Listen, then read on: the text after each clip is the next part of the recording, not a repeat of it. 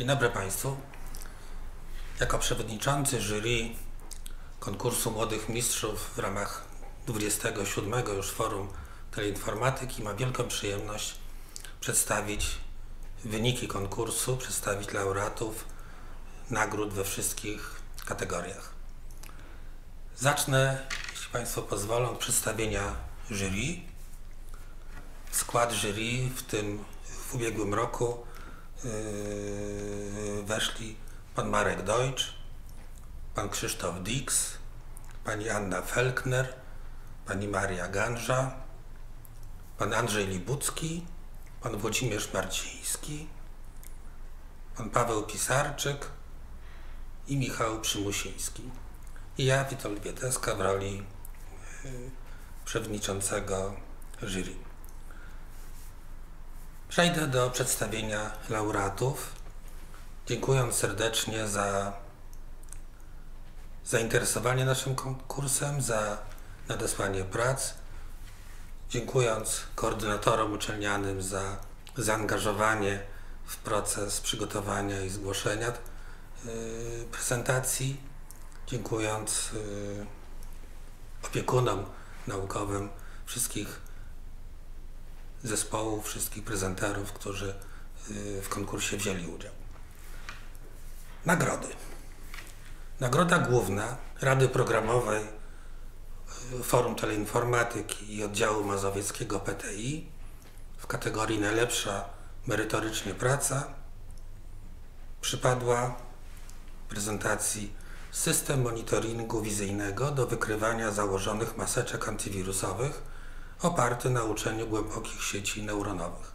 Autorem pracy są panowie Kacper Budnicki i Jakub Suder z Politechniki Poznańskiej, a opiekunom, opiekunami naukowymi pan profesor doktor habilitowany inżynier Adam Dąbrowski i pan doktor inżynier Tomasz Marciniak.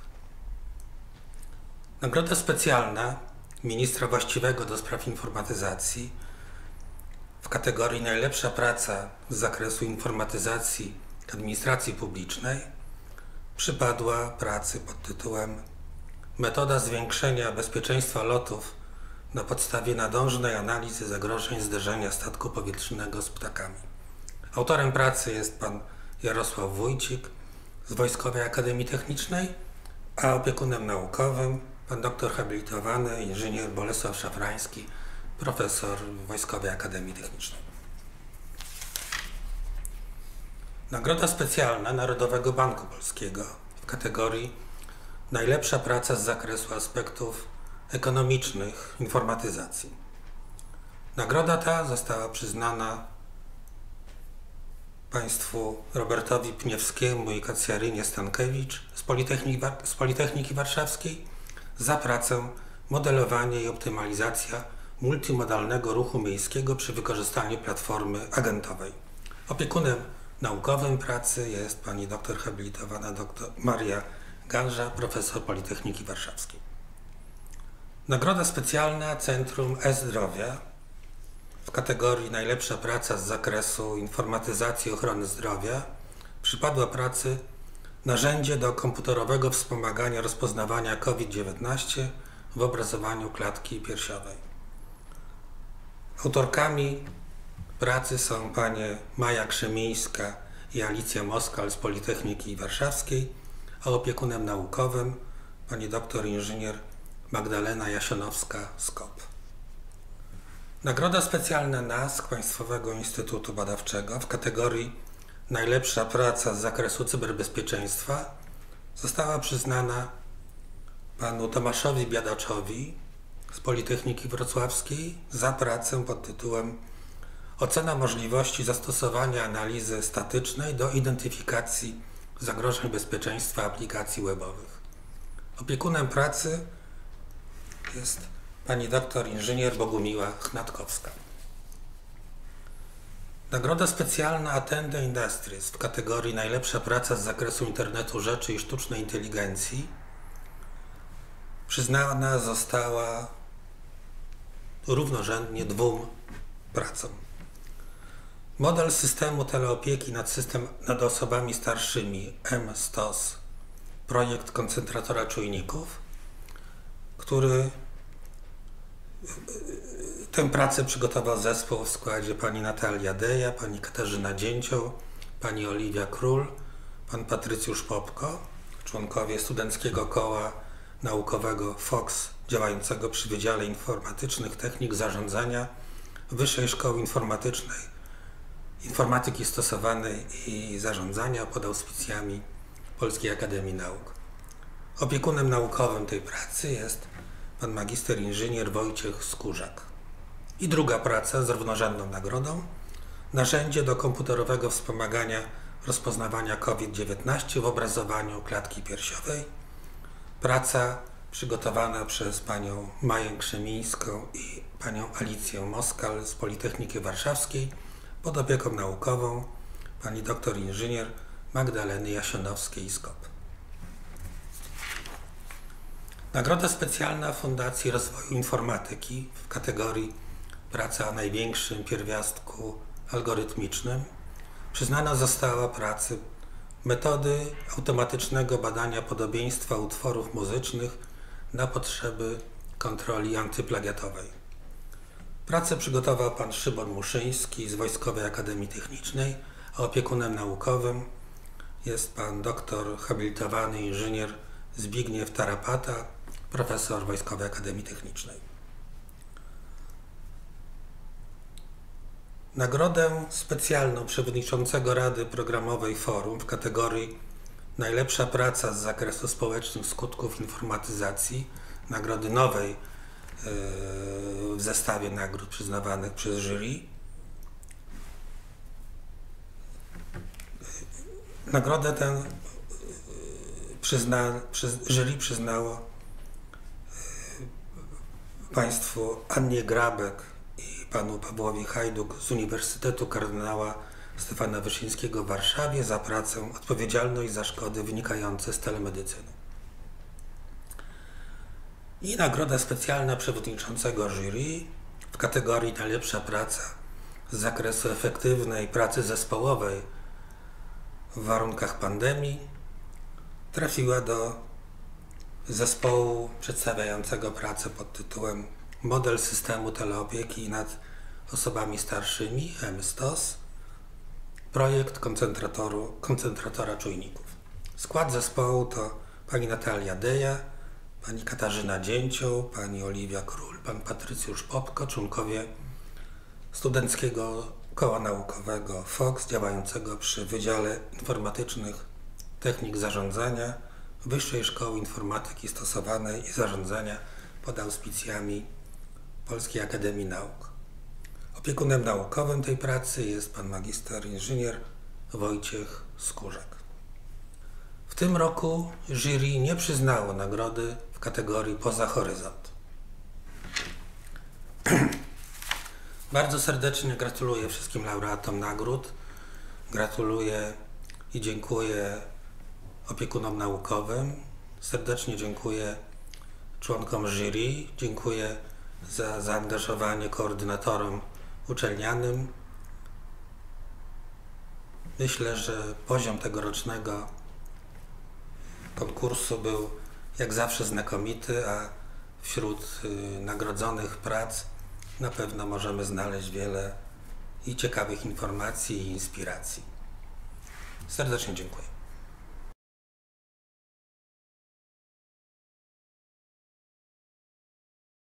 Dzień dobry, nazywam się Marek Deutsch, kieruję pionem IT w Banku Gospodarstwa Krajowego i chciałem dzisiaj przedstawić kilka tez na temat długu technologicznego. Podstawowa teza związana z tą prezentacją zawarta jest jej w tytule. Dług technologiczny był, jest i będzie. Musimy z nim żyć, musimy się z nim zmagać, musimy nim zarządzać. E, natomiast z pewnością nie można go pozostawić samemu sobie. E, wszystkie instytucje publiczne, w ogóle generalnie duże instytucje będące użytkownikami informatyki zmagają się z długiem technologicznym w obszarze IT. E, w dzisiejszej prezentacji powiem kilka słów na temat różnych definicji długu technologicznego, omówię kilka przykładów, przedstawię pewien sposób klasyfikacji długu, przedstawię pewne dane pozyskane przez jedną z firm konsultingowych, omówię nasze wewnętrzne podejście do zarządzania długiem technologicznym oraz przedstawię kilka projektów dużych przedsięwzięć realizowanych w Banku Gospodarstwa Krajowego, również służących e, zniwelowaniu długu technologicznego. Jeśli chodzi o definicję, e, na slajdzie widzą Państwo e, różne podejścia do definicji i przewija się w nich kilka tez. Po pierwsze to, że dług technologiczny powstaje wtedy, gdy budowane rozwiązania są tworzone na skróty, gdy wykorzystywane są w nich pewne niekoniecznie poprawne technologicznie, poprawne merytorycznie rozwiązania. Dług technologiczny zazwyczaj jest zaciągany w ramach realizowanych, w ramach realizowanych projektów. Wynika z nieprzestrzegania przyjętych pryncypiów, standardów, wynika z odejść od e, zaplanowanego i docelowego modelu e, organizacji. Natomiast warto też przyjrzeć się pewnym definicjom nie wprost dotyczącym długu, ale e, pokazującym pewne niuanse jego powstawania. E, kiedyś na wykładach, gdy jeszcze byłem w szkole, usłyszałem bardzo ciekawą tezę. Projektowanie jest sztuką upraszczania, ale nie należy doprowadzać do prostactwa. Zarówno przesadne upraszczanie, jak i niestosowanie zasady upraszczania prowadzi do długu technologicznego. Kilka przykładów związanych z długiem technologicznym. Gdy patrzymy na dwa podstawowe nurty działalności pionów IT w dużych instytucjach, nurt utrzymania i rozwoju, to po pierwsze, patrząc na nurt utrzymania, warto wspomnieć o wygasającym często wsparciu dla komponentów infrastruktury informatycznej, y, które to wsparcie w momencie, gdy wygasa, staje się źródłem długu technologicznego. Dostawca przestaje świadczyć usługi rozwoju, przestaje świadczyć usługi poprawiania błędów, co prowadzi do narastania długu. E, z wygasającym wsparciem wiąże się utrzymywanie, konieczność utrzymywania starych wersji komponentów, wiąże się powstawanie luk przede wszystkim w obszarze bezpieczeństwa oraz wiąże się permanentne życie w stanie błędów. E, gdy patrzymy na obszar rozwoju, to podstawowym elementem powstawania długu są skróty wykorzystywane w procesie rozwoju oprogramowania. Niedokładnie pisany kod, kod pisany metodą obejść, kod pisany na czas. E, bardzo duże elementy długu technologicznego powstają w procesie testowania. W momencie, gdy na przykład nie wykorzystujemy testowania automatycznego i narasta problem, problem testów regresji, gdy mamy niewystarczające pokrycie e, testami różnych obszarów funkcjonalnych, wreszcie e, bardzo istotnym elementem jest dezaktualizacja projektu, dezaktualizacja wynikająca bądź to ze zmiany warunków biznesowych, bądź to ze zmiany warunków technicznych. Gdy patrzymy e, na dług technologiczny z punktu widzenia zasad i architektury, to w momencie, gdy mówimy o zasadach, to podstawowym czynnikiem powstawania długu technologicznego jest nieutrzymywanie zgodności z pryncypiami architektonicznymi. Dzieje się to w sposób świadomy bądź nieświadomy. E, nie przestrzega się pryncypiów, nie przestrzega się standardów, nie stosuje się często gotowych wzorców projektowych, programistycznych, architektonicznych, nie przestrzega się różnych podstawowych zasad e, merytorycznych. E, inną oczywiście sprawą jest brak pryncypiów architektonicznych. W momencie, gdy mamy do czynienia z tego, z tego rodzaju sytuacją, dług technologiczny zaczyna narastać błyskawicznie. E, również z obszarem przestrzegania pewnych zasad wiąże się konieczność e, dokumentowania powstających rozwiązań. W momencie, gdy się ich nie dokumentuje, dług technologiczny błyskawicznie narasta. Gdy mówimy już o istniejącej i udokumentowanej architekturze, to dług technologiczny bardzo często wynika z odchyleń od planowanej architektury rozwiązania, odchyleń realizowanych w sposób niekontrolowany bądź kontrolowany, które to odchylenia prowadzą do długu. E, oczywiście osobną sprawą jest to, że nie ma czegoś takiego jak architektura IT. Sytuacją taką mamy do czynienia w wielu instytucjach i prowadzi to do bardzo poważnych e, problemów. Generalnie rzecz biorąc, dług technologiczny ma tendencję narastającą, ma tendencję do ekspansji. I w momencie, gdy mamy do czynienia z takimi sytuacjami właśnie jak brak pryncypiów architektonicznych, brak standardowych komponentów, brak wzorców projektowych, gdy oprogramowanie, które powstaje jest nieelastyczne e, ze względu czasami na bardzo dziwnie realizowane kustomizacje, e, gdy w zespole deweloperskim mamy pewne luki wiedzy i w kompetencji. E, gdy występują ograniczenia w dostępności zasobów, gdy współdzielimy zasoby z innymi projektami, gdy nie doszacowujemy pracochłonności prac projektowych, e, gdy mamy problemy z procesami rozwoju i utrzymania oprogramowania, a wreszcie, gdy w obszarze projektów e, nie priorytetyzujemy projektów, przesadnie komplikujemy produkty projektowe bądź nie doszacowujemy ich kosztów, to z pewnością dojdzie do ekspansji długu technologicznego. Kilka słów na temat klasyfikacji długu technologicznego. E, w Banku Gospodarstwa Krajowego patrzymy na dług technologiczny w dwóch wymiarach. E, po pierwsze, w wymiarze kompetencji zespołów projektowych, osób w jakiś sposób zamieszanych e, w utrzymywanie i powstawanie rozwiązań IT, oraz patrzymy na dług technologiczny w, w, w płaszczyźnie celowości i świadomości decyzji podejmowanych i realizowanych w procesie utrzymania i rozwoju systemów informatycznych.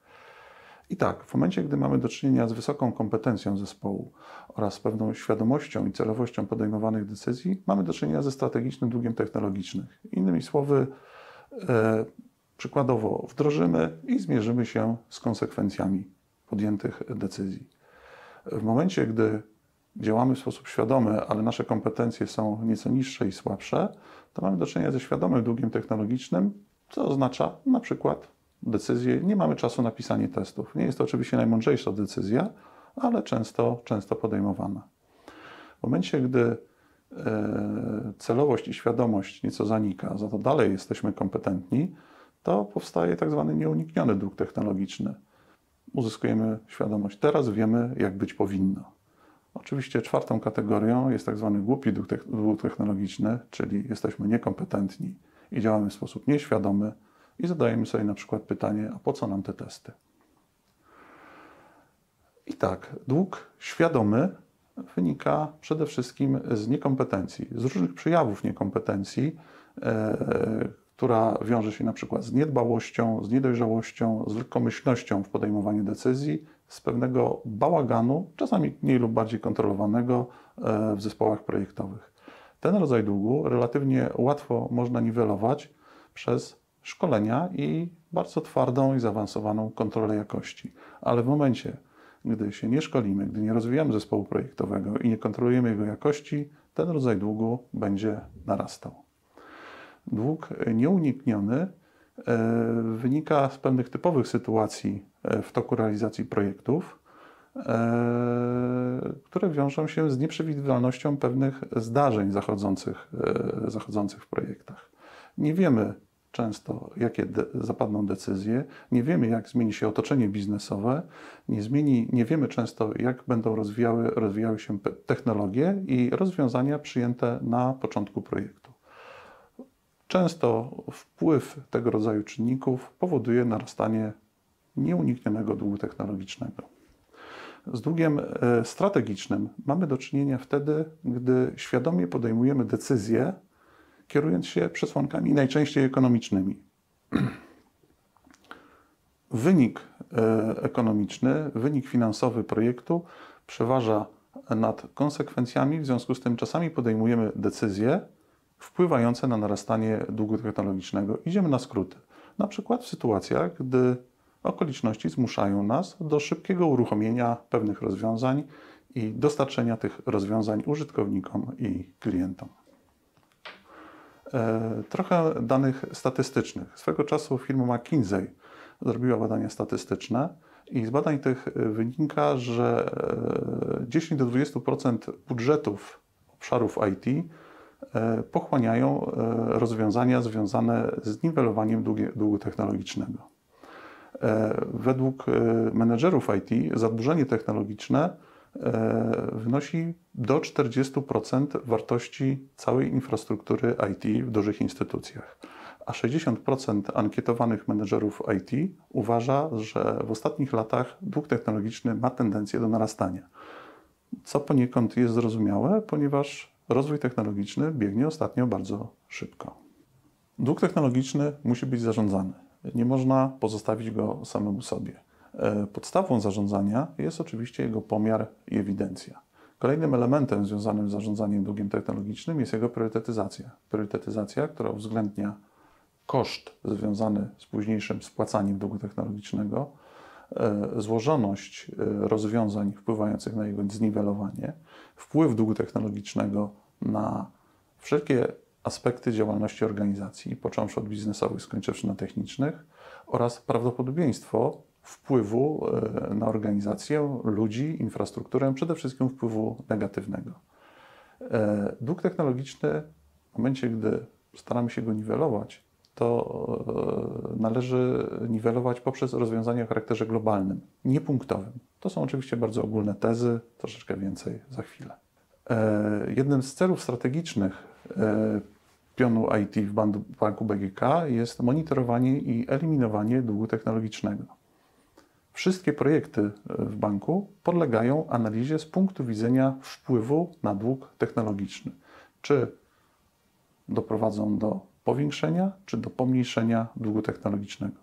W ramach każdego projektu w banku mierzony jest. Tak wskaźnik redukcji długu technologicznego, o sposobie jego pomiaru powiem za chwilę, wskaźnik określający wpływ projektu na dług technologiczny. W kolejnych krokach wskaźnik ten uwzględniany jest w ogólnym wyniku długu technologicznego banku, e, który to dług w kolejnych krokach polega znowuż analizie, wypracowaniu rozwiązań, e, rekomendacji rozwiązań, które mogą go zniwelować, i konsekwencją tych rekomendacji są kolejne przedsięwzięcia i projekty, które znowuż podlegają ocenie z punktu widzenia wpływu na dług technologiczny. Poznaje, powstaje swego rodzaju pętla, która w obszarze informatyki jest zawsze bardzo lubiana. Tak jak wspomniałem wcześniej, w procesie zarządzania długiem technologicznym w Banku Gospodarstwa Krajowego każdy z projektów podlega ocenie. Dla każdego z projektów wyliczany jest tzw. Tak wskaźnik redukcji długu technologicznego. Przy wyliczaniu uwzględniane są kryteria związane z infrastrukturą stosowaną w projekcie, z oprogramowaniem wykorzystywanym w projekcie bądź tworzonym w projekcie oraz e, z modyfikowanymi, rozwijanymi procesami biznesowymi. Różne aspekty każdego z tych elementów są oceniane i z odpowiednimi wagami wpływają, e, wpływają na e, wskaźnik redukcji długu, będący pochodną tego projektu. Według obecnych szacunków skala długu technologicznego w naszej infrastrukturze IT wynosi niecałą połowę całej infrastruktury. Co to znaczy? To znaczy, że mniej niż połowa infrastruktury informatycznej banku jest długiem technologicznym. Z tej połowy mniej więcej 1 trzecia wynika z zastosowanej infrastruktury technicznej, a prawie połowa wynika z zastosowanych aplikacji. Są oczywiście jeszcze inne czynniki wpływające na dług technologiczny, takie jak rozwiązania związane z bezpieczeństwem, architektura procesów biznesowych oraz jeszcze kilka innych. Z grubsza rzecz biorąc, przyjmując pewne przybliżenia, mieścimy się we wcześniej podanych statystykach McKinsey e, i staramy się cały czas dążyć do redukcji i niwelowania długu technologicznego. W ramach infrastruktury systemów informatycznych banku realizowany jest, realizowany jest cały szereg projektów, e, których celem jest między innymi redukcja długu technologicznego. Nie jest oczywiście to cel podstawowy. Podstawowym celem większości projektów jest rozwój biznesowy i dostarczenie odpowiednich rozwiązań dla biznesu, ale czynnik redukcji długu technologicznego jest dla nas niezwykle istotny. To, co widzą Państwo na slajdzie, to jest bardzo ogólny zarys e, rozwiązań informatycznych stosowanych w banku. W samym centrum naszej infrastruktury jest centralny system bankowy oparty o moduły DEF 2000 i DEF 3000. E, centralny system bankowy otoczony jest powstającymi w różnych okolicznościach aplikacjami dziedzin, dziedzinowymi służącymi rozwiązywaniu pewnych mm, punktowych problemów i realizacji pewnych konkretnych procesów biznesowych. Oczywiście centralny system bankowy bardzo mocno współpracuje z całą gamą systemów płatniczych. E, podstawowym narzędziem pracy pracowników banku jest platforma BPM bazująca na e, rozwiązaniu, na rozwiązaniu FERT. Klienci banku współpracują z bankiem przede wszystkim posługując się e, kanałami elektronicznymi, bankowością elektroniczną oraz portalem BGK zlecenia. Pracownicy banku e, dostają się do infrastruktury banku poprzez rozwiązanie RDP, a współpracują ze sobą, bazując na współdzielonych dyskach, poczcie elektronicznej oraz komunikatorze MS Teams. Pierwszym, jednym z istotniejszych projektów modernizacyjnych realizowanych w banku jest gruntowna przebudowa centralnego systemu bankowego, e, połączona z, ze zmigrowaniem do tego systemu aplikacji dziedzinowych, które kwalifikują się do tego rodzaju, do tego rodzaju migracji. To, co chcemy uzyskać już w dość bliskim okresie, jest uzyskanie we wszystkich modułach z naszego systemu centralnego standardu DEF 3000 oraz włączenie do tych modułów części aplikacji dziedzinowych. Kolejnym projektem, który realizujemy, jest wdrożenie nowoczesnej platformy płatniczej i zastąpienie obecnych systemów płatniczych nowoczesnymi rozwiązaniami dostarczonymi w ramach pewnego spójnego systemu przez dostawcę zewnętrznego. To, co realizujemy dalej, to jest po pierwsze upgrade platformy Ferry do najnowszej wersji e, tej platformy oraz optymalizacja procesów biznesowych e, zaimplementowanych na, e, na tej platformie. Tych procesów mamy kilkaset. Tak jak wspomniałem wcześniej, jest to podstawowe narzędzie pracy pracowników banku. To, co się dzieje w tej chwili, to jest realizacja przetargu na dostarczenie nowego rozwiązania dla platformy kanałów elektronicznych. To, do czego dążymy, to jest zbudowanie zunifikowanego rozwiązania wielokanałowego, zapewniające, zapewniającego bardzo szerokie możliwości e, naszym klientów, klientom. Połączone to będzie również z wdrożeniem nowoczesnego centrum autoryzacyjnego. Pracownicy banku zostaną wkrótce wyposażeni w nowoczesną, jednolitą platformę pracy grupowej bazującą na rozwiązaniu MS Teams oraz Office 365. Wszelkiego rodzaju aspekty współpracy, wymiany informacji, wymiany danych pomiędzy pracownikami banku będą realizowane na tej platformie. A gdy mówimy o dostępie pracowników banku do środowiska informatycznego, gdy mówimy o ich środowisku pracy, to wdrażamy nowoczesne rozwiązanie VDI, które w tej chwili już u nas funkcjonuje na około 100 stanowiskach dla pracowników obsługujących systemy, systemy krytyczne. Nie jest to oczywiście ostatni z realizowanych u nas istotnych projektów, realizujemy ich więcej i to, co jest dla nas istotne, to cały czas rozbudowujemy nasz zespół i poszukujemy pracowników o wysokich kwalifikacjach pozwalających E, nam realizować kolejne przedsięwzięcia związane również z niwelowaniem długu technologicznego. Podsumowując moją wypowiedź, po pierwsze, dług technologiczny jest zawsze, tak jak jest w tytule, był, jest i będzie. Natomiast warto redukować dług technologiczny, wplatając pewne przedsięwzięcia normalnie realizowane projekty biznesowe. E, istotne jest to, by redukcja długu technologicznego była elementem strategii zarówno banku, jak i IT. I ostatnia teza, tak jak wspomniałem, dług technologiczny był, jest i będzie, należy z nim żyć, ale nie można nim nie zarządzać. Bardzo dziękuję. Do widzenia.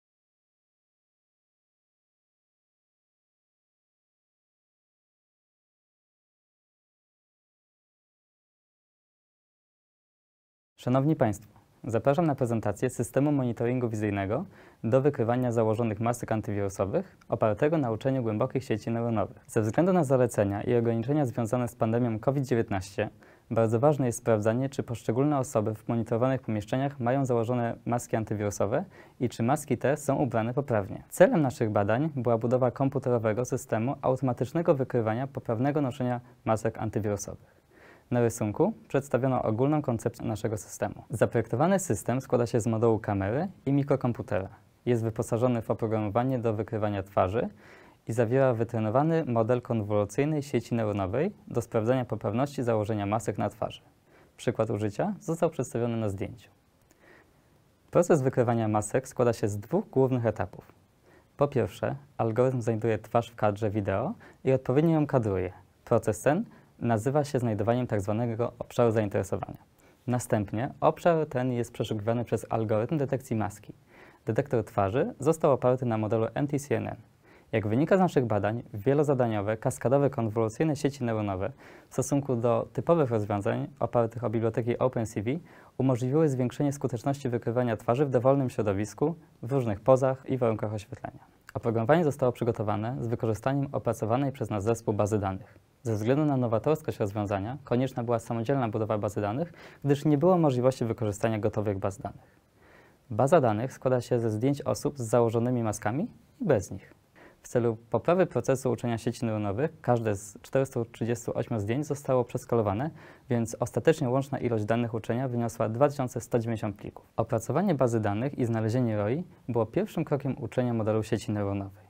Następnie, korzystając z narzędzi takich jak TensorBoard i Python, wytypowaliśmy najlepszą architekturę sieci neuronowej do naszego głównego zadania – wykrywania masek.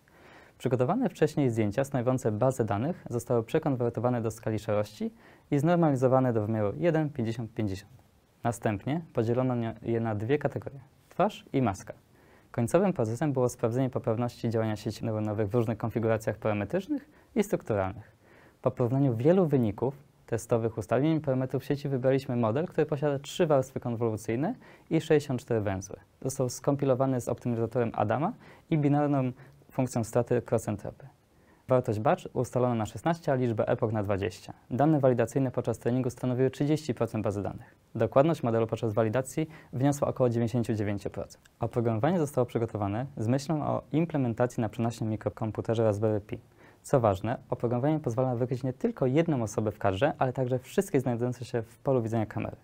System został oparty na nowatorskich bibliotekach i napisany w języku programowania Python, wykorzystywanym w algorytmach sztucznej inteligencji. Po zaimportowaniu modeli sieci neuronowych i ustawienia liczby klatek na sekundę, następuje wczytanie obrazu wejściowego, zmiana jego rozdzielczości, a następnie wyszukanie obszarów z twarzami zarówno bez masek, jak i z maskami. Gdy nie zostaną one wykryte, ładowana jest kolejna klatka, natomiast po prawidłowej jego detekcji jest on wycinany, przetwarzany oraz sprawdzany przez wytrenowany model do wykrywania masek. Wynikiem działania programu jest obraz zaznaczoną odpowiednim kolorem twarzą w masce lub bez, wraz z procentowym wynikiem prawdopodobieństwa modelu. Efektem naszych badań było zaprojektowanie, zbudowanie i przetestowanie systemu do monitorowania i wykrywania poprawności założenia maski antywirusowej na twarzy. Warto zaznaczyć, że przedstawiony we wcześniejszym opisie system był przedstawiony na dwóch międzynarodowych konferencjach. Przykłady działania i zastosowanie naszego prototypowego systemu pokazano na filmie.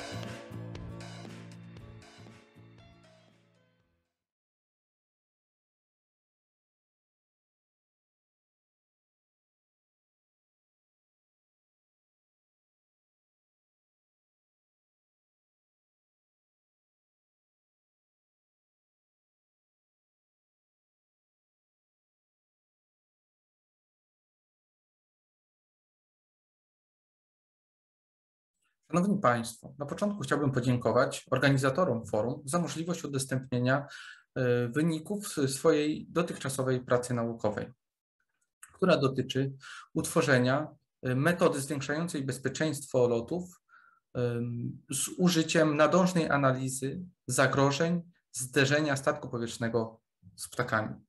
W swojej pracy skupiam się na problemie e, negatywnego wpływu środowiska naturalnego na bezpieczeństwo lotów spowodowanego przez współdzielenie przestrzeni powietrznej wojskowych statków powietrznych z ptakami. Pomijając błędy związane z techniką lotu, największy udział w powstaniu zdarzeń lotniczych stanowi negatywny wpływ środowiska naturalnego, co wyróżniono na, ekresie, na wykresie kołowym po lewej. Warto zaznaczyć, że ponad 80% zdarzeń w tym obszarze to zderzenia z ptakami. Niepokojący jest również niemalejący trend wskaźnika intensywności zderzeń z ptakami pokazany na wykresie po e, prawej. Kolizja z ptakiem może wydawać się z pozoru niegroźna, ale jak pokazują powyższe zdjęcia, może ona doprowadzić nawet do katastrofy. Chciałem dodać, że w przypadku lotnictwa wojskowego armii amerykańskiej średni koszt pojedynczego zderzenia statku powietrznego z ptakiem to około pół miliona dolarów. Wynika to zarówno z, z, kosztów uzbrojenia sił powietrznych, jak i szkolenia pilotów wojskowych, których przykłady przytaczam na powyższym slajdzie.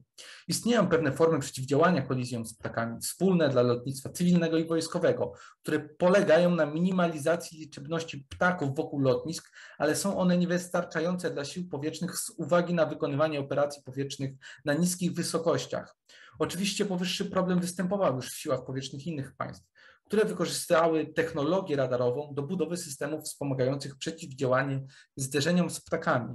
Do powyższych systemów należy zaliczyć AHAS, amerykański system typu GIS, który wykorzystuje sieć radarów pogodowych NEXRAD, system ekspercki niemieckich sił powietrznych, który wykorzystuje sieć radarów obrony przeciwlotniczej oraz radarów kontroli zbliżania, FlySafe BAM, który bazuje na radarach pogodowych Belgii oraz Holandii, oraz system wykorzystywany w Izraelu bazujący na specjalnie przygotowanym do tego radarze pogodowym MRL-5.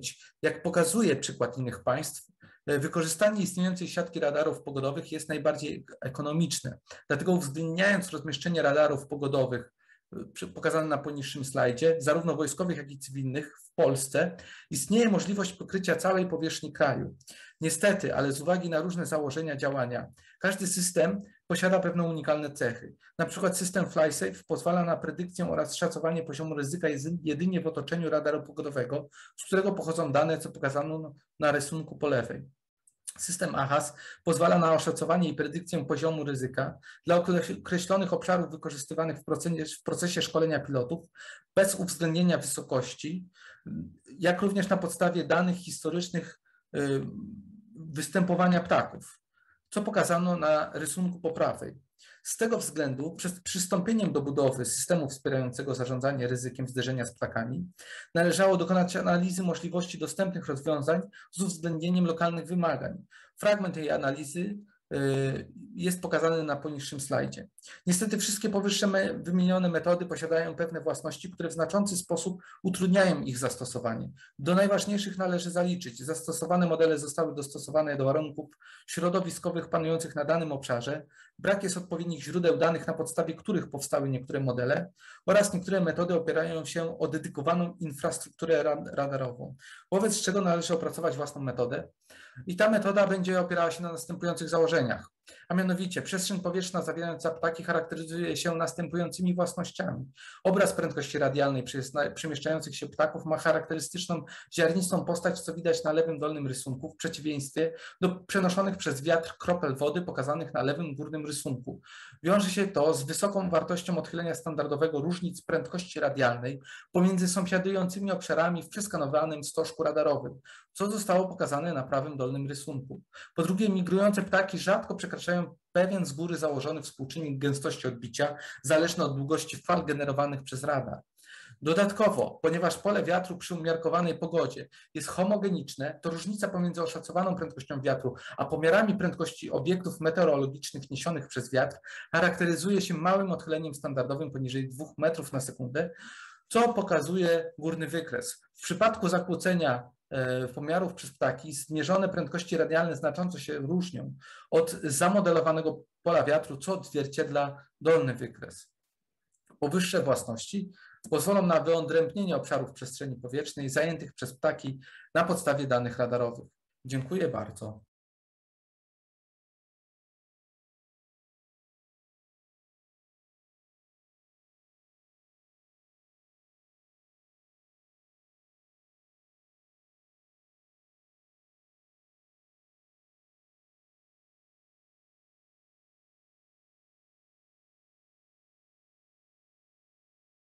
Dzień dobry, nazywam się Katarzyna Stankiewicz i dzisiaj z Robertem Pniewskim chcielibyśmy pokazać Państwu naszą pracę konkursową o tytule Modelowanie i optymalizacja multimodalnego ruchu miejskiego przy wykorzystaniu platformy agentowej. W ramach naszej pracy konkursowej przeprowadziliśmy ankietę. Zapytaliśmy ludzi o najbardziej dokuczliwe problemy towarzyszące podróżowaniu po mieście.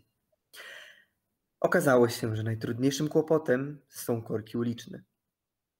Nasza aplikacja posiada pięć inteligentnych strategii usprawniających ruch miejski.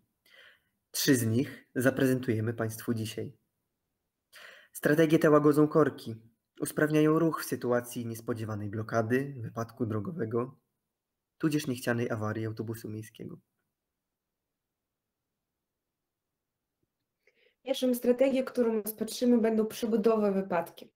Pewnie Państwu się zdarzało jechać rano i napotkać na drodze na jakąś budowę albo wypadek, wtedy trzeba było się cofać i cały poranek był zmarnowany. Natomiast w naszej aplikacji trasa będzie od razu uwzględniała te przeszkody i podróż stanie się znacząco lepsza. Na ekranie Państwo widzicie wyniki, które zostały osiągnięte i średnie polepszenie jest równe 21%. Kolejną ze strategii jest strategia zmiany środka transportu. Na pewno wielu z Państwa przydarzyła się taka przykra sytuacja w życiu, że autobus miejski uległ nagłej awarii. Pieszy w takiej sytuacji w naszej aplikacji otrzymuje analizę.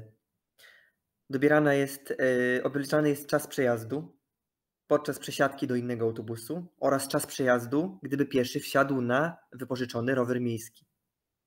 Na podstawie tego, który czas będzie szybszy, dokonany jest wybór nowego planu podróży dla tego pieszego. Co nas odróżni od innych aplikacji tego typu podobnych?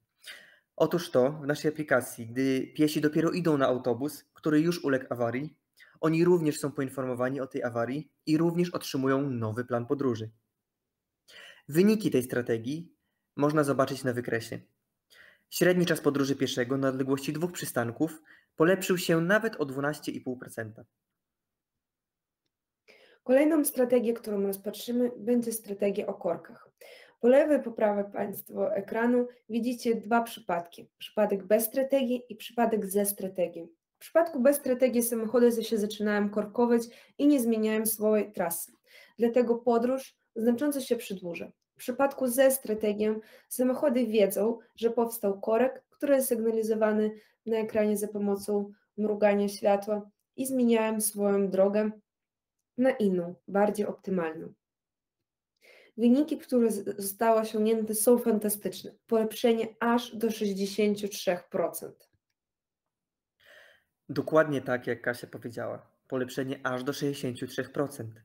Proszę sobie tylko wyobrazić, gdyby zainstalowano taki system w stolicy Polski, w Warszawie. Wszystkie te godziny spędzone w korkach ulicznych, siedząc w samochodzie, na czerwonym świetle, mogłyby zostać spożytkowane na rozwijanie swoich zainteresowań, hobby, uprawianie sportu, bądź najzwyczajniej w świecie, aby spędzić więcej czasu z rodziną. Nie wspominając o korzyściach dla środowiska. Stałoby się to w końcu realne, aby panujący od wielu, wielu lat w Warszawie i nie tylko problem smogu przeszedł do historii. A więc postanowiliśmy sobie cel polepszyć życie osób mieszkających w mieście. Żeby to osiągnąć, zaimplementowaliśmy pięć polepszeń, z których każda dała pozytywne wyniki. Nie tylko proces, ale i wynik dał nam bardzo dużo satysfakcji. Mam nadzieję i Państwu też. Dziękujemy za uwagę i do zobaczenia.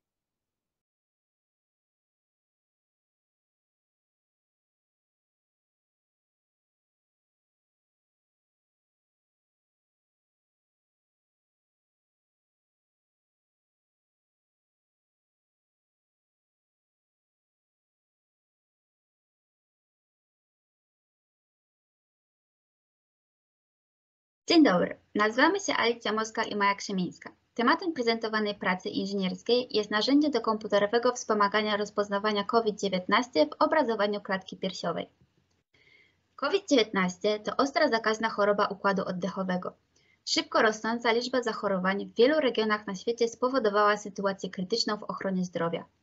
Zautomatyzowanie procesu diagnozy i leczenia pacjentów mogłoby pomóc w walce z pandemią. Celem zaproponowanej aplikacji jest właśnie próba wspomagania diagnostyki COVID-19. Wiele pacjentów chorych na COVID-19 ma zmiany w płucach. Są one różne w zależności od zaawansowania i przebiegu choroby. W naszej aplikacji rozważamy dwa typy badań: tomografię komputerową oraz rentgen. Badanie TK to zbiór warstw przedstawiających kolejne przekroje badanego narządu. Obraz RTG to pojedynczy obraz dwuwymiarowy. Zmiany chorobowe widoczne na obrazach TK są bardziej zróżnicowane w przeciwieństwie od tych widocznych na RTG. W aplikacji zostało zaimplementowanych 7 modułów. Anonimizacja danych, wyświetlanie i przeglądanie danych obrazowych, segmentacja obszarów zainteresowania, ekstrakcja cech obrazowych i ich klasyfikacja, wybór warstw badania do analizy, oszacowanie stopnia ciężkości choroby oraz generowanie raportów z otrzymanych wyników. Aplikacja została napisana w języku Python. Aplikacji operujemy na czterech formatach obrazów: DICOM, NIFTY, JPEG oraz PNG. Do trenowania modeli w aplikacji zostały użyte dwie bazy. Baza dla obrazów TK to baza danych zawierająca obrazy w formacie NIFTY dla ponad 1000 pacjentów. Obrazy są w medycznej skali Housefielda, która pozwala odzwierciedlić około 2000 odcieni szarości, uwidaczniając przy tym odpowiednie tkanki na obrazie. Do trenowania modeli RTG wykorzystano bazę, która zawiera obrazy w formacie PNG. Podstawowe funkcjonalności aplikacji to wyświetlanie obrazów oraz anonimizacja danych wrażliwych pacjentów. Jeśli wczytane jest badanie tomografii komputerowej w formacie DICOM lub NIFTY, to jest możliwe przeglądanie kolejnych warstw za pomocą odpowiednich przycisków lub slidera. W aplikacji można podać do analizy jedną warstwę lub wybraną listę warstw. Zostały zaimplementowane i porównane trzy metody segmentacji płuc dla obrazów badania TK. Do segmentacji płuc, na których są bardzo mocno widoczne zmiany covidowe, najlepsza okazała się metoda Cummins, korzystająca z algorytmu K średnich. Dla obrazów rentgenowskich skorzystano z wytrenowanej sieci neuronowej. Obrazy są analizowane według następującego schematu. Na początku z obrazu segmentowany jest obszar zainteresowania, czyli płuca. Następnie obraz jest wstępnie przetwarzany, np. sprowadzany do skali szarości. Później wydobywane są cechy obrazowe, a na koniec te cechy są poddane klasyfikacji. W naszej aplikacji skorzystałyśmy z dwóch rodzajów cech obrazowych: GLCM Heralic oraz AlexNet. Jako element badawczy w niniejszej pracy postanowiono sprawdzić działanie czterech klasyfikatorów przy zmiennych parametrach. Są to maszyna wektorów nośnych, liniowa analiza dyskryminacyjna, las losowy oraz regresja logistyczna. Testy efektywności klasyfikatorów wykonano przy pomocy sprawdzianu krzyżowego, otrzymując dokładność 96 do 100% na zbiorze 400 obrazów RTG oraz dokładność 77 do 79% na zbiorze 1200 obrazów TK. Najlepsze wyniki wspomniane przed chwilą otrzymano w obu przypadkach dla klasyfikatora liniowej analizy dyskryminacyjnej oraz cech GLCM Heralic. Do oceny stopnia ciężkości choroby niezbędne jest zaznaczenie zmian chorobowych na badanej warstwie obrazu. Użytkownik może obrysować dowolną ilość zmian poprzez zaznaczenie punktów na obrazie. Po obrysowaniu wszystkich zmian można obliczyć zajętość procentową płuc przez podane zmiany. Aplikacja umożliwia wygenerowanie raportu w formacie CSV lub PDF. W raporcie zawarte są wszystkie wykonane analizy, czyli wyniki klasyfikacji oraz y, oszacowania zajętości płuc oraz ich podsumowania. Cel pracy, jakim było stworzenie aplikacji wspomagającej diagnostykę COVID-19 na każdym etapie pracy z obrazami medycznymi pacjentów, został osiągnięty. Niższa efektywność klasyfikacji może odzwierciedlać złożoną naturę patologii widocznych na obrazach TK, gdzie najlepszą dokładność, jaką osiągnęliśmy, to było 79%, w przeciwieństwie do obrazów RTG, gdzie udało się osiągnąć dokładność 100%. Przedstawione funkcjonalności mogą ułatwić i przyspieszyć niezbędne czynności wykonywane w szpitalach czy przychodniach oraz być podstawą do rozwijania bardziej zaawansowanych badań i aplikacji w tym obszarze lub rozwiązań dla konkretnych placówek medycznych. Dziękujemy bardzo za uwagę.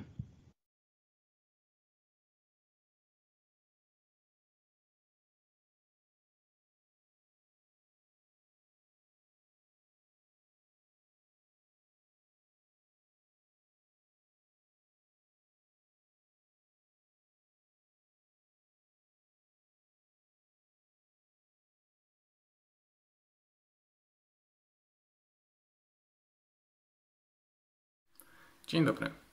Nazywam się Tomasz Biadacz i tematem mojej pracy jest ocena możliwości zastosowania analizy statycznej do identyfikacji zagrożeń bezpieczeństwa aplikacji webowych. W ramach prezentacji chciałbym pokrótce nakreślić tematykę pracy oraz przedstawić efekty przeprowadzonych przeze mnie badań. W obecnych czasach internet rozwija się bardzo dynamicznie. Ilość stron internetowych szacuje się na ponad 1,7 miliarda i utrzymuje ona trend wzrostowy. Idzie za tym problem niskiego poziomu bezpieczeństwa stron, co potwierdzają liczne badania i analizy.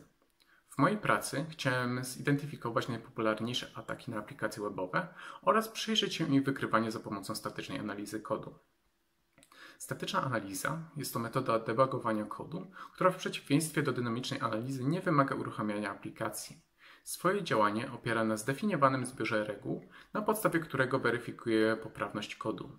Znajduje ona szerokie zastosowanie, począwszy od sprawdzania stylu, kończąc na zagadnieniach bezpieczeństwa.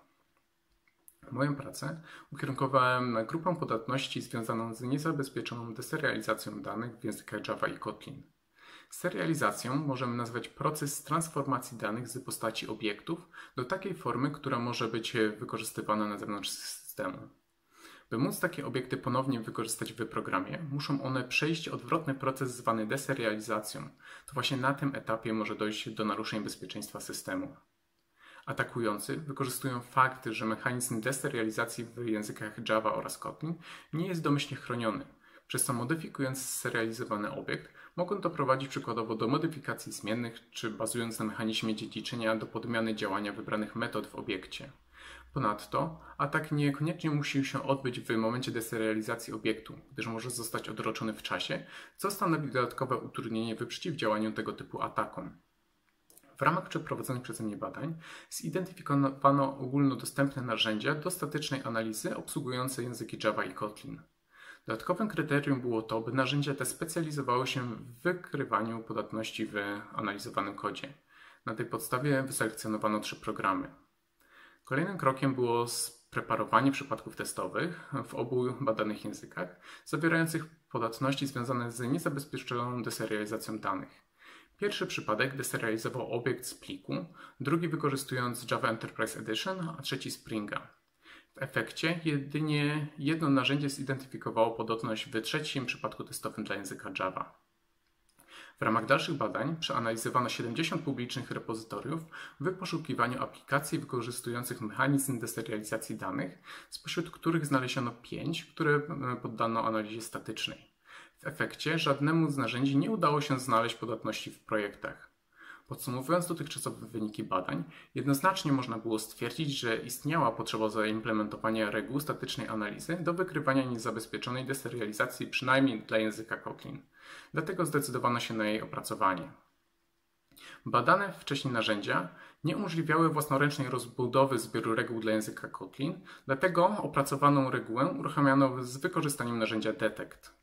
Ponownie przebadano przygotowane przypadki testowe oraz komercyjne projekty efekcie we wszystkich badanych projektach udało się zidentyfikować miejsca umożliwiające potencjalne ataki drogą niezabezpieczonej deserializacji danych, co potwierdziło skuteczność opracowanego rozwiązania. Podsumowując dokonane prace, można stwierdzić, że udało się zrealizować postawione na jej początku cele. Zidentyfikowano najpopularniejsze ataki na aplikacje webowe, a także ustalono zakres wykorzystania statycznej analizy do ich zapobiegania. W dalszej części przebadano skuteczność e, wykrywania niezabezpieczonej deserializacji oraz wskazano konieczność implementacji reguł dla języka Kotlin. W kolejnych etapach prac zaproponowano taką regułę oraz wykazano jej wysoką skuteczność. Może ona w przyszłości znaleźć szerokie zastosowanie podczas tworzenia aplikacji w języku Kotlin. Dziękuję bardzo za uwagę.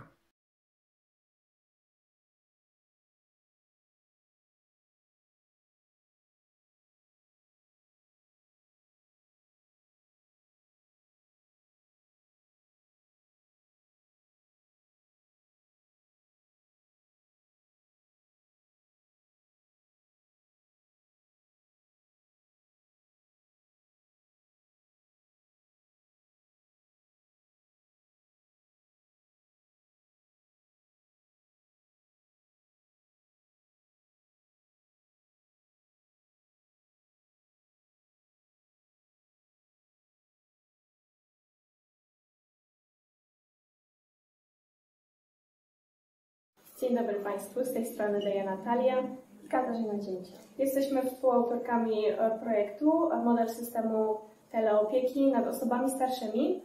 Działamy w ramach Studenckiego Koła Naukowego FOX, e, działającego przy Wydziale Informatycznych Technik Zarządzania Wyższej Szkoły Informatyki Stosowanej i Zarządzania pod auspicjami Polskiej Akademii Nauk. Pozostałymi autorami projektów są Oliwia Król i Patrycjusz Popko. E, nasze koło zajmuje się problematyką zastosowania technologii internetu rzeczy e, w zarządzaniu i automatyzacji procesów przetwarzania. Do praktycznego poznania problemów występujących w systemach e, IoT członkowie koła zaprojektowali i zbudowali model systemu teleopieki dla osób starszych, wymagających ciągłego monitorowania podstawowych parametrów życiowych oraz parametrów w środowisku, w którym się znajdują, czyli na przykład pomieszczenie, lub ogólnie miejsce zamieszkania. Z badań statystycznych wynika, że w Polsce regularnej opieki zdrowotnej wymaga ponad 1,5 miliona osób starszych.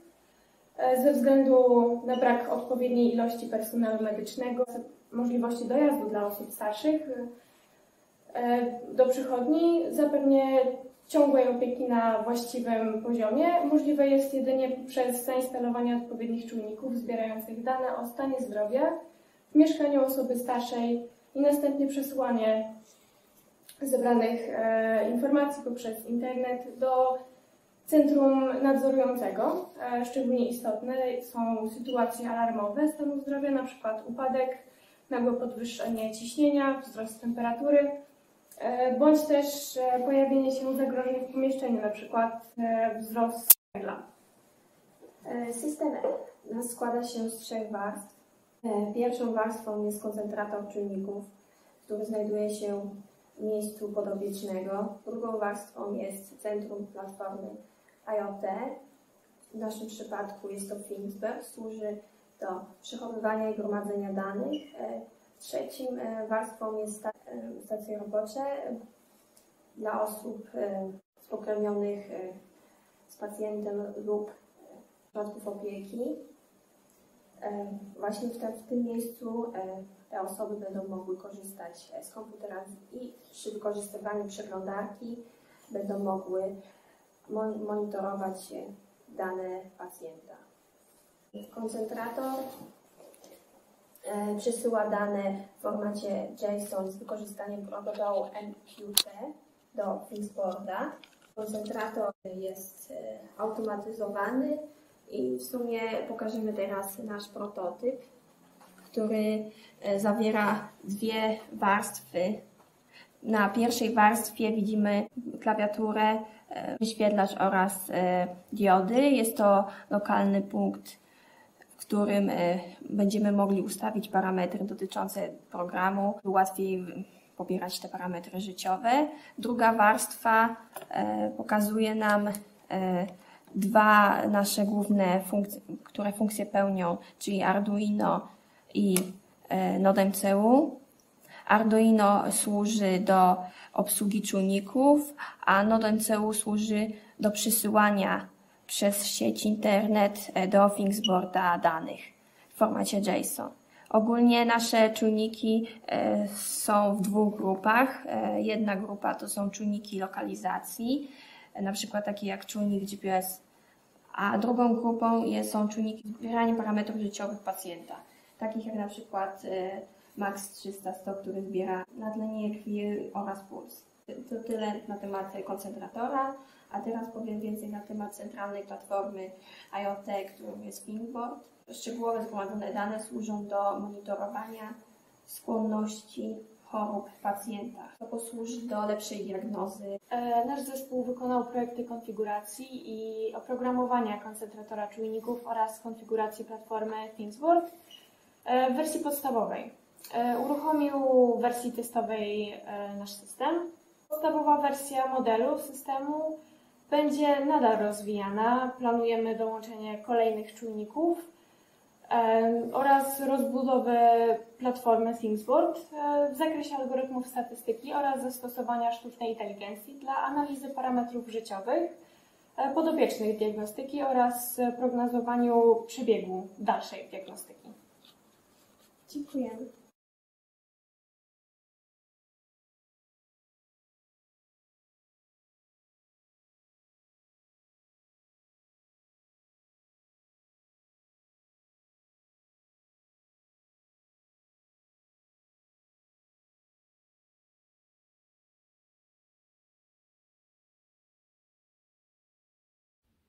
Szanowni Państwo, nazywam się Szymon Muszyński i mam przyjemność zaprezentować Państwu pracę pod tytułem Metody automatycznego badania podobieństwa utworów muzycznych na potrzeby kontroli antyplagiatowej, realizowaną pod kierunkiem profesora Zbigniewa Tarapaty.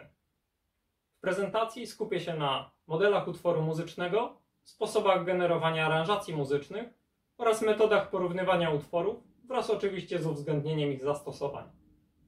Jest to zagadnienie, które znajdzie zastosowanie wszędzie tam, gdzie potrzebna jest czytelna, klarowna, obiektywna miara oceny podobieństwa utworów muzycznych. Rozważanym przeze mnie modelem monofonicznego utworu muzycznego jest zbiór nut składających się z wysokości dźwięku, długości nuty oraz momentu rozpoczęcia nuty w utworze. Za pomocą relacji poprzedzania nut, a właściwie bezpośredniego poprzedzania, możemy zbudować graf reprezentujący utwór muzyczny. Tym celu odwzorowujemy nuty jako wierzchołki grafu, a więc wierzchołkami mogą być w najprostszej wersji nazwy solmizacyjne, nazwy literowe dźwięków. W bardziej zaawansowanych modelach możemy tworzyć osobne wierzchołki dla nut z różnych oktaw lub mających różną długość. Następnie rozpatrujemy nuty utworu, uporządkowane właśnie tą wspomnianą wcześniej relacją bezpośredniego poprzedzania. Poszczególne pary relacji odzwierciedlamy w grafie jako krawędzie, łuki, ewentualnie pętle pomiędzy odpowiednimi wierzchołkami. Możemy także zastosować sieć, co pozwala później na ilościową analizę powiązań dzięki zapisywaniu krotności tych połączeń. Oczywiście im wierniej odwzorowujemy utwór w postaci grafu czy sieci, tym dokładniejsze analizy można później prowadzić. Tak utworzony model możemy wykorzystać do automatycznego generowania aranżacji muzycznych. Za pomocą tak zwanego spaceru losowego, czy też kontrolowanego spaceru losowego po grafie lub sieci, możemy generować utwory, które z jednej strony będą zawierały motywy muzyczne zaczerpnięte z oryginału, natomiast utwory jako całość będą się znacząco różnić od pierwowzoru. W swojej pracy zaproponowałem gamę takich metod zdefiniowanych, zinterpretowanych jako procesy stochastyczne. Drugim ciekawym zagadnieniem jest badanie podobieństwa utworów na podstawie tak utworzonych struktur grafowo-sieciowych. Budując wektor charakterystyk takiego grafu, np. liczba wierzchołków, liczba krawędzi, średni stopień wierzchołka, średnica grafu, pośrednictwo itd., możemy dokonać podstawowego porównania dwóch utworów poprzez porównanie właśnie tych wektorów. Można także oczywiście wyznaczyć jedną liczbową wartość odległości pomiędzy dwoma utworami, np. poprzez zastosowanie normy z parametrem p. W innym zaproponowanym przeze mnie podejściu można również porównywać różne aranżacje tego samego utworu. Jeśli graf reprezentujący utwór oryginalny uznamy za tzw. Tak punkt idealny, punkt odniesienia, możemy porównywać różne aranżacje poprzez nie tyle ich odległość między sobą, natomiast raczej ich odległość od tego punktu idealnego, niejako mierząc w ten sposób ich innowacyjność względem utworu bazowego. Jeszcze innym sposobem porównywania utworów jest podejście tekstowe. W swojej pracy zaproponowałem nutowe odpowiedniki miar właściwych dla porównywania wzorców tekstowych. I tak na przykład nutowa miara Hemminga pozwala na porównanie aranżacji zawierających tę samą liczbę nut, ponieważ opisuje na ilu pozycjach różnią się te utwory. Z kolei miara Lewensteina pozwala także na porównanie aranżacji różniących się liczbą nut, poprzez to, że zdefiniowane są tam dodatkowo operacje usuwania i dodania nuty. Można również zastosować miary znane z systemów antyplagiatowych, np. najdłuższy podciąg wspólny dla dwóch utworów, czy też liczba wspólnych fraz o zadanej długości. Istnieje wiele zastosowań do zaproponowanych metod. Automatyczne generowanie motywów muzycznych może wspomóc chociażby pracę kompozytorów czy aranżerów w odkrywaniu nowych motywów muzycznych na podstawie jakiegoś zadanego, bazowego motywu. Można również wykorzystać te metody do tworzenia muzyki tła a vista, np. w grach komputerowych. Z kolei zaproponowane metody porównywania utworów w szczególności mogą wspomóc działania takich organizacji, które potrzebują właśnie tej obiektywnej, ilościowej miary podobieństwa różnych utworów. W szczególności mam tu na myśli na przykład sprawdzanie prac dyplomowych na uczelniach artystycznych, postępowania sądowe w procesach o przywłaszczenie własności intelektualnej czy w konkursach i projektach Ministerstwa Kultury. Te metody mogą także posłużyć do innych celów, takich jak chociażby zbudowanie korpusu utworów określonego gatunku muzycznego, korpusu utworów wybranej społeczności, a także do klasteryzacji utworów muzycznych. Wierzę, że niniejsza praca przyczyni się do rozwoju metod porównywania utworów muzycznych oraz oczywiście samych ich zastosowań. W przypadku pytań lub sugestii zachęcam do kontaktu poprzez adres e-mail umieszczony w prezentacji. Serdecznie dziękuję.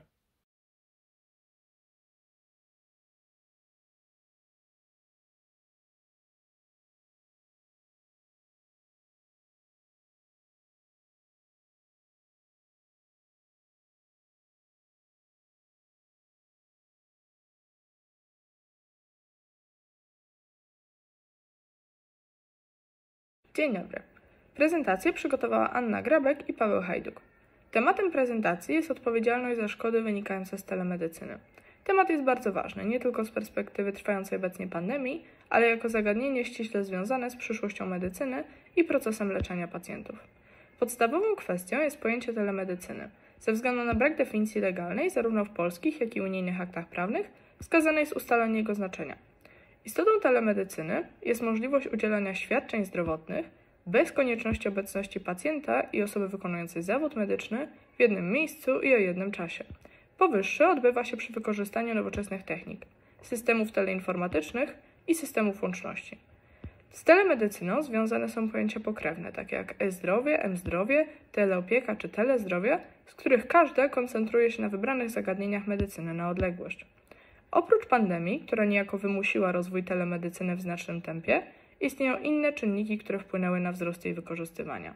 Do najważniejszych należy zaliczyć trzy ściśle ze sobą związane: niewydolność systemu opieki zdrowotnej, starzejące się społeczeństwo i braki kadrowe wśród osób wykonujących zawody medyczne. Telemedycyna pozwala na pokonanie trudności, które stanowią wyzwanie przy udzielaniu pomocy pacjentom. Umożliwia pokonanie barier przestrzeni i czasu, co prowadzi do redukcji liczby wizyt lekarskich i przynosi poprawę efektywności ekonomicznej systemu opieki zdrowotnej. Ryzyka związane są z kolei z wyzwaniami w obszarze cyberbezpieczeństwa, przetwarzaniem szczególnych kategorii danych osobowych i brakiem badania fizykalnego. W aktach prawnych można zidentyfikować podstawy prawne dla telemedycyny. Jako podstawowe regulacje należy wskazać ustawy o działalności leczniczej, ustawy regulujące wykonywanie określonych zawodów medycznych i akty prawne odnoszące się do praw pacjentów, takie jak ustawa o prawach pacjenta i Rzeczniku Praw Pacjentów. Obszar ten nie jest jednak uregulowany w sposób kompleksowy. W związku z udzielaniem świadczeń zdrowotnych w formie zdalnej możliwe jest ponoszenie odpowiedzialności prawnej.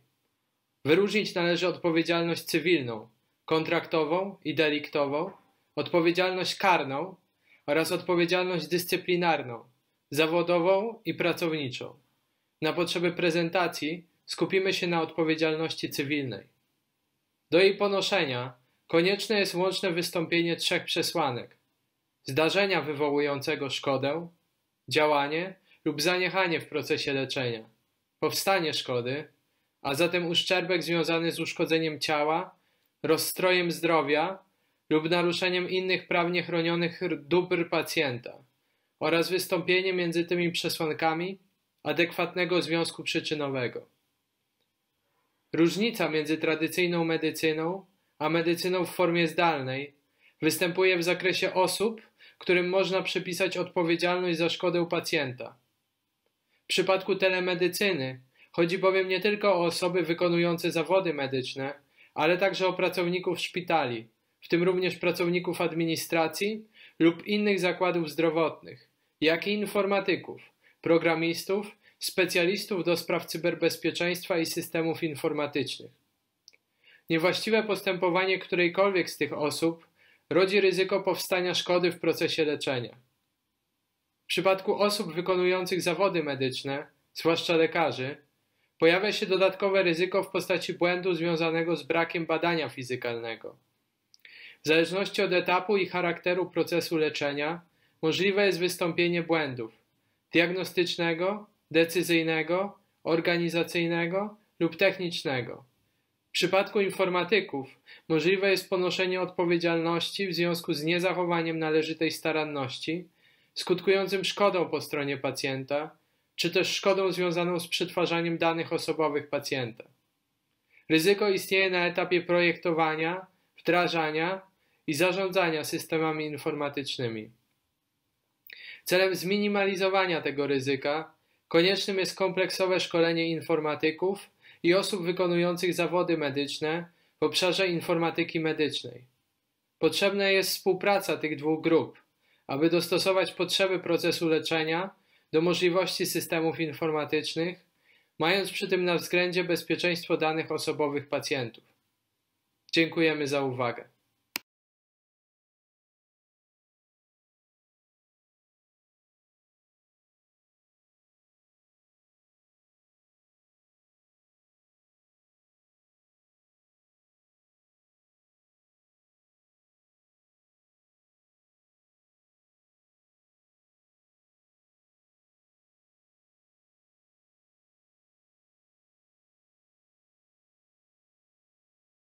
Szanowni Państwo, y, zanim y, powiem o y, naszych planach dotyczących konkursu Młodych Mistrzów, zmian regulaminowych i pewnej, pewnego mm, sposobu procedowania w przyszłym roku, to chciałbym ogłosić, że mimo koronawirusa, mimo zmian i to szerokich w dziedzinie informatyzacji administracji rządowej i mimo to, mimo tego, że to było 13 forum, w którym przyznawano nagrody młodych mistrzów, możemy ogłosić sukces. Dzięki uczestnikom, ale przede wszystkim dzięki koordynatorom, opiekunom prac, którzy, którzy po prostu przygotowali wraz z autorami tych prac bardzo ciekawe e, opracowania, możemy rzeczywiście powiedzieć, że 13 konkurs ogólnopolski międzyuczelniany młodych mistrzów skończył się, czy zakończył się sukcesem. Y, proszę Państwa, chciałbym przypomnieć, jakie są główne cele y, naszego konkursu. Pierwszy z nich, taki podstawowy, zupełnie bazowy, y, to zapoznanie i zainteresowanie studentów i młodych naukowców problematyką informatyzacji, problematyką modernizacji funkcjonowania państwa z wykorzystaniem narzędzi i metod informatyki, to podstawowy, bazowy cel. Natomiast drugi, dla nas co najmniej równie ważny, jest y, cel, y, który prowadzi do rozbudzenia wyobraźni uczestników prac, uczestników konkursu, autorów prac. Jury zawsze od początku tego konkursu brało ten aspekt wyobraźni, nierutonowego podejścia do rozwiązywania pewnych problemów jako ważną przesłankę poszukiwania laureatów konkursu. W tym celu właśnie stworzyliśmy kilka lat temu nawet specjalną kategorię, która nazywa się kategorią poza horyzont, bo bardzo nam zależy, żeby te rozwiązania, które zawieracie e, Państwo swoich pracach konkursowych, no właśnie wybiegały poza rutynę projektową, no były rzeczywiście e, rozwiązaniami opracowanymi z wyobraźnią. No, e, to się zgadza z takim głównym przesłaniem czy myślą Einsteina, który powiedział, że logika zaprowadzi nas niezawodnie z punktu A do punktu B, natomiast wyobraźnia wszędzie. Tak więc apelujemy do przyszłych uczestników naszego konkursu, żeby nie rezygnując z logiki, no, rozbudzali swoją wyobraźnię i przedstawiali, zgłaszali prace, które właśnie będą nietuzinkowe, ciekawe, no, rozbudzające i emocje, i pewne dociekania naukowe. Tyle co do idei naszego konkursu. Teraz kilka spraw regulaminowych. Proszę Państwa, y, jak wiemy, mamy standardową grupę kategorii konkursowych, ale co roku przystępując do ogłoszenia kolejnej edycji konkursu, staramy się uzupełnić tą kategorię, ten zestaw kategorii, kolejną kategorię, jeśli czujemy, że zwłaszcza po rozmowach z koordynatorami konkursu, że ona mogłaby się cieszyć popularnością czy zainteresowaniem uczestników konkursu. W tym roku dodaliśmy kategorię społeczne skutki czy efekty informatyzacji. Chcieliśmy po prostu również szerzej otworzyć konkurs dla zespołów, pojedynczych autorów, którzy nie są ścisłymi informatykami, a mają coś ciekawego w obszarze właśnie na styku z informatyką, z prawem, z zarządzaniem, z psychologią do przedstawienia w ramach swojej pracy konkursowej. Co do zmian regulaminowych, to po doświadczeniu ostatnich dwóch lat, gdy koronawirus nam no, przewrócił w zasadzie dotychczasowe y, y, zasady regulaminowe, y, myślę, że już na trwale wprowadziliśmy następujące zmiany. Po pierwsze, że konkurs będzie ogłaszany zawsze od 1 lutego, następna edycja konkursu, że zgłaszanie prac zgodnie z rytmem akademickim będzie możliwe do 15 lipca.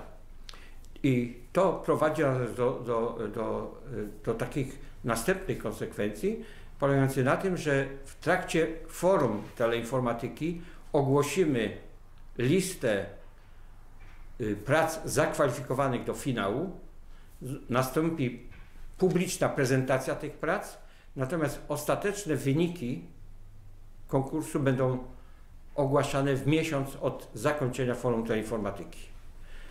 Y, takie zmiany regulaminowe okazały się konieczne, y, bowiem y, no, koronawirus spowodował, że główna część prac i kontaktów z koordynatorami no, odbywała się już właśnie w tym semestrze letnim roku akademickiego. Druga sprawa y, to współpraca z opiekunami, z koordynatorami. Chcemy tym, od tego roku wprowadzić ścisłą zasadę, by kilkakrotnie, korzystając y, y, ze zdalnego kontaktu za pomocą systemu Teams, no, prowadzić spotkania, gdzie byśmy wymieniali poglądy z koordynatorami po to, żeby jeszcze wzbogacić nasz konkurs, a przede wszystkim nawiązać ściślejsze związki właśnie z koordynatorami. Dlatego zwrócimy się w najbliższym czasie do wszystkich koordynatorów oraz do znanych nam kół naukowych na uczelniach i zaproponujemy w lutym, w drugiej połowie lutego, pierwsze takie zdalne spotkanie, gdzie chcielibyśmy no, nawiązać jeszcze ściślejsze związki y, po to, żeby i jakość prac mogła być większa, zakres tych prac szerszy, no i przede wszystkim, żeby większa liczba jeszcze uczelni przystąpiła do naszego konkursu. Y, kończąc to takie krótkie moje wystąpienie, chciałbym jeszcze raz podziękować wszystkim patronom i partnerom, którzy, y, którzy są przedstawieni na tablicach y, informacyjnych, za wsparcie idei naszego konkursu. Y, za to, że przez lata towarzyszą temu konkursowi i chciałbym y, do tego dodać, że, y, że to wsparcie powoduje, że konkurs jest coraz stabilniejszy organizacyjnie i coraz szerszy w sensie problematyki merytorycznej, ale również co do liczby uczelni występujących w konkursie. Dziękując, e, dziękując patronom i partnerom, chciałem podkreślić, że wszyscy oni w rozmowach z nami, ale i publicznie zawsze deklarują wielką chęć współpracy z laureatami, naszego konkursu, są otwarci na staże zawodowe. Także, proszę Państwa, oprócz uczestnictwa w konkursie, w konkursie prosimy o podtrzymanie również już poza naszą organizacją no, współpracy czy związków z patronami, partnerami naszego konkursu po to, żeby być może znaleźć dla siebie najlepsze na najbliższe lata miejsce y, pracy. Ostatnie zdaniu chciałbym się zwrócić do koordynatorów i, i opiekunów pracy. Szanowni Państwo, to od Państwa zależy przede wszystkim to, jak szeroko konkurs się y, będzie widziany, jak szeroko, y, będzie, jak szeroko, jak szeroki udział będzie w tym konkursie. Prosimy o bezpośredni kontakt zarówno z przewodniczącym jury, również z panią sekretarz jury panią Kingą Rokoszewską, ale również ze mną. W przypadku, gdy będziecie e, mieli jakieś pomysły, e, ciekawe inicjatywy, bardzo chętnie je e, weźmiemy pod uwagę. Dodatkowo chciałem powiedzieć, że bardzo nam zależy na zbliżeniu dwóch inicjatyw.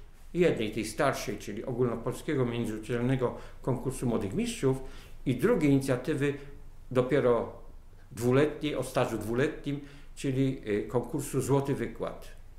Złoty Wykład, to przypominam, to inicjatywa, w której zapraszamy po bardzo szczegółowej selekcji wybitną osobę, wybitnego autora do wygłoszenia własnego autorskiego wykładu w sesji inauguracyjnej kolejne forum y, teleinformatyki. I te związki y, między tą inicjatywą a konkursem młodych mistrzów mają polegać na tym, że chcemy udostępniać zarówno takie sprawozdania filmowe z konkursu młodych mistrzów, ale również te wykłady, złote wykłady, y, tym wszystkim kołom zainteresowania, zainteresowań naukowych i tym uczelniom i tym podmiotom, które w statucie mają zapisany właśnie rozwój idei informatyzacji, żeby mogli skorzystać z tych wykładów i na swoje potrzeby y, no, y, publikować je na swoich stronach internetowych, w ten sposób rozszerzając zainteresowanie zarówno konkursem, jak i inicjatywą Złotego Wykładu. Dziękuję wszystkim jeszcze raz, uczestnikom, jury, ale również partnerom i patronom za y, wspólne dzieło, które y, wydało bardzo dobre owoce. O tym y, y, świadczą wszystkie nagrodzone przez jury prace konkursowe. Dziękuję bardzo.